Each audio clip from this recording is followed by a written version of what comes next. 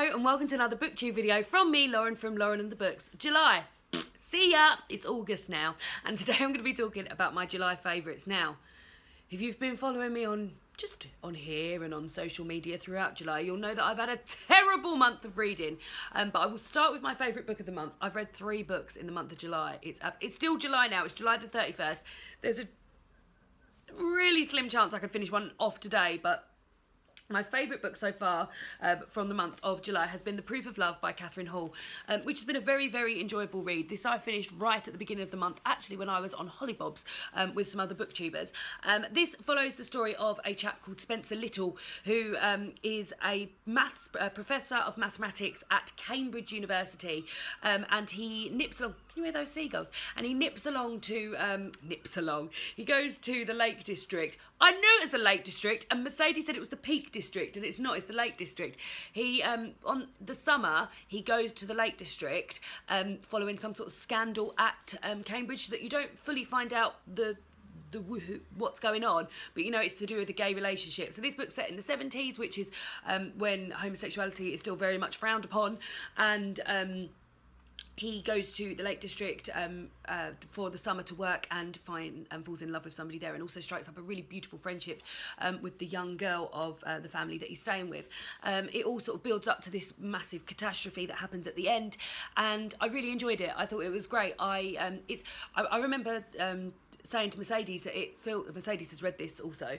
Um, it felt very cozy for a book that was set in such a scorching summer and that constantly tells you how scorching this summer was.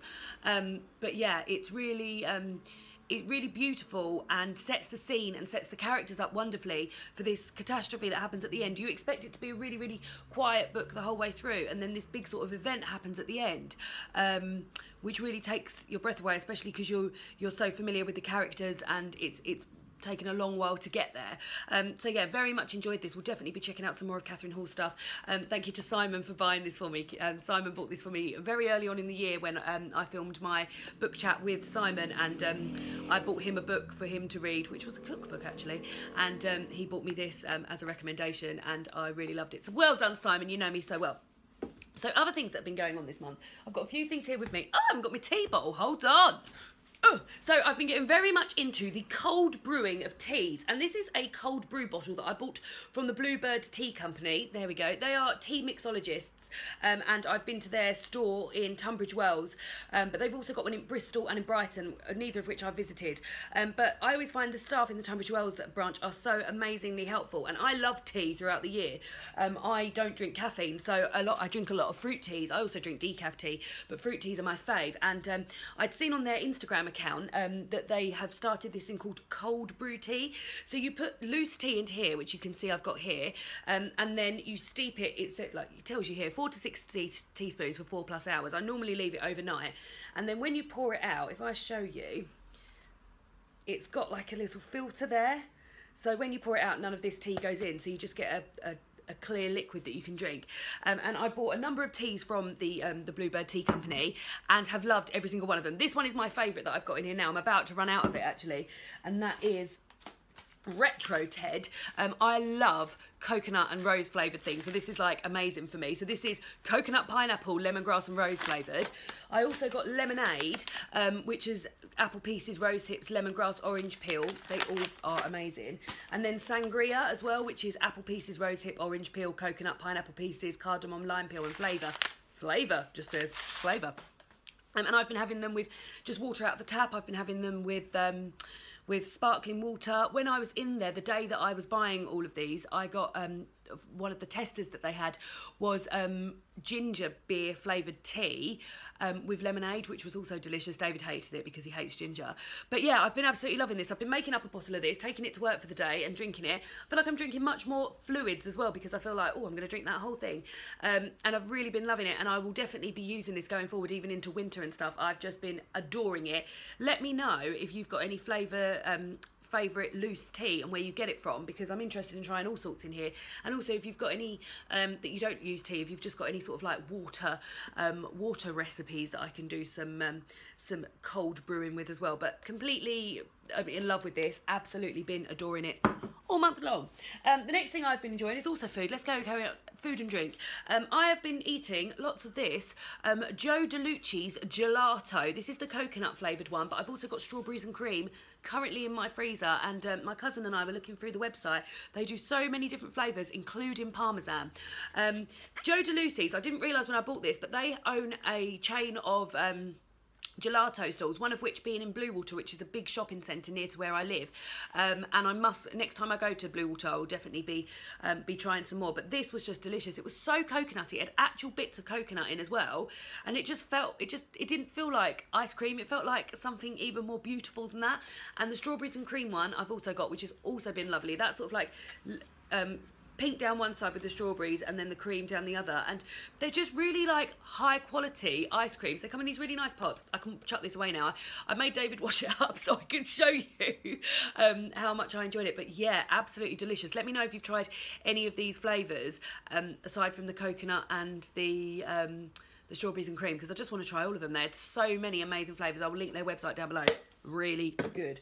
Um, and then one more physical thing to show you before I get on to experiences and events. Um, I have been slowly um, trying to, oh God, look, I've made such a mess of this. Um, I've been slowly um, moving over to cruelty uh, free and vegan um, products. It's a very slow work in progress, but every time I find a, a, product that I really, really love, I stick with it and get really excited about it. Um, and my most recent thing I've been looking to find are deodorants that are cruelty uh, free and vegan and I've managed to find this brand of deodorant, Schmidt's. I believe they're US based, but I've managed to get them in. The first one I bought was this one, which is the lavender and sage one in Urban Outfitters. Um, it is pricey in terms of deodorant, so it's £8 was this one when I got it in um, Urban Outfitters.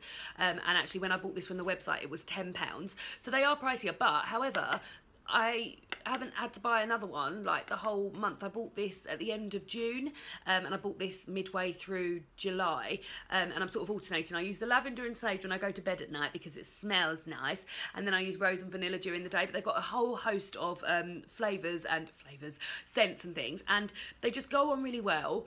Um, they do keep you smelling fresh throughout the day, particularly the lavender one.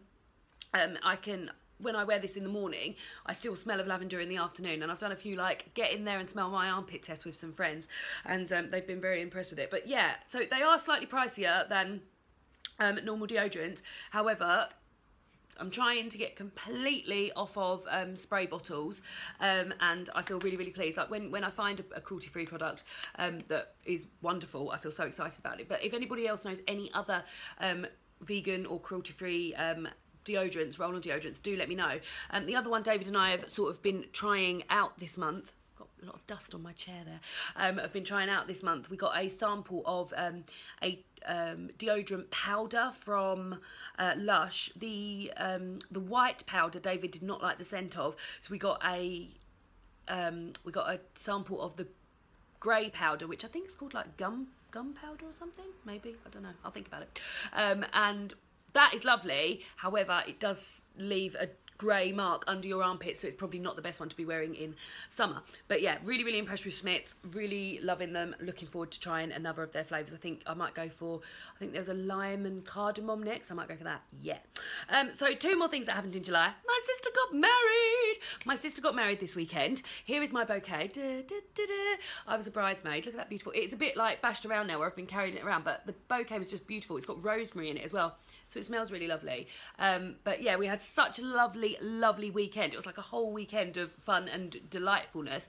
Um, my sister got married in um, a, a, a animal reserve, a nature reserve where they've got a safari, um, and it's called Port Lympne. It's in Kent, in England, and um, we just had such a beautiful, beautiful day. The ceremony was inside in this gorgeous room with loads of um, beautiful paintings of animals.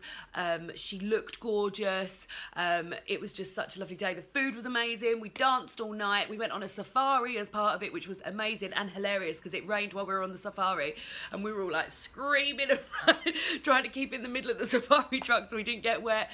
Um, we saw giraffes so up close. I've never seen them so close before. We got stuck in a bit of a giraffe traffic jam actually um, and they um, they were in the road for about 40 minutes and we just had to sort of wait for them to move uh, which was really fun. Um, and yeah it was just such a such a gorgeous weekend. Like I always knew it was going to be amazing because my sister was getting married, but it was just so lovely, and I, we just loved the whole day there. They couldn't have done enough for us at Port Lympne, and all the people that were there just all loved it, and it just felt like everyone had a really, everyone was in such high spirits, and we all just had such a great time. Um, and yeah, it was just brilliant. And then we followed that up with a barbecue at my parents' house yesterday, um, which was really nice, and her friends came along, and we all just have a little sort of debrief of the wedding, which was just lovely. Yeah, which such a nice, nice weekend. I just felt full of love afterwards. Um, so that was a really, really lovely um, thing. And then the last thing um, was that I went on holiday earlier this month um, with some fellow booktubers, with Mercedes, Eleanor and Caitlin. Um, we had a great time at um, Eleanor's uh, parents' place in... Dorset is such a gorgeous, gorgeous house. Really beautiful beach. We did some reading. We filmed a video on Eleanor's channel. I'll link that down below. And I vlogged the whole weekend, which I will also link down below. But yeah, July's been lovely. Not much for reading, but a really, really lovely month, busy month um, of lots of like my favourite things. Looking at these favourite things now, sometimes I have to really think, what's been my favourite? But these three things, the, the gelato, the tea and the deodorant, I was just new as soon as I got my hands on them. I was like, they're my favourite things for the month. I've been loving them so much. So really, really enjoyed July. Um, I hope you guys all had a lovely July. Let me know what you've been up to. Let me know if you've tried any of these products before. I'll hold this little bouquet here as a little wedding thing. Da, da, da, and I'll see you all again soon for another booktube video.